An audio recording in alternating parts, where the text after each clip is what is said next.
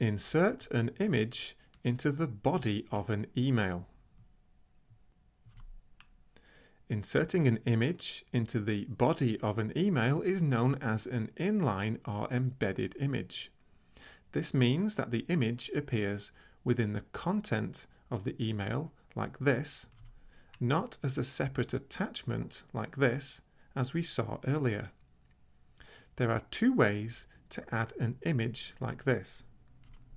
The first is to have an image tag with an absolute address of an image file. In other words, an address that includes the web server address too. However, as we'll see in an example in a moment, most email clients block images included like this as they can be used to track who opens the email. So if you do include an image in this way, it's likely that the recipient won't see it. One notable exception is Gmail, who cache inline images so they are displayed. But unless you can be sure all your recipients are using Gmail, it's not a reliable way to include images. The other way to display an embedded image is to attach the image file to the email and display it using a special URL in the HTML. PHPMailer makes this very easy.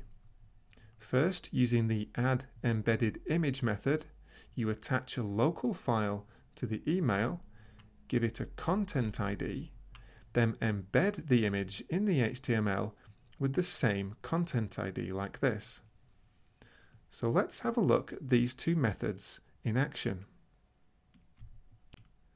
So here in the body of the message, first I've added a reference to an external image. Then I've added an embedded image with a content ID of banana. Then down here, I'm adding the embedded image, which is a file in the same folder here. And it has the same content ID. So let's see what this looks like. First we'll send it by running the script in the browser like that. And then let's have a look at the message we've received. And there it is. So the first image isn't displayed by default, although you can change your preferences in some email clients to allow it to be shown. The second image is, however, without having to change anything.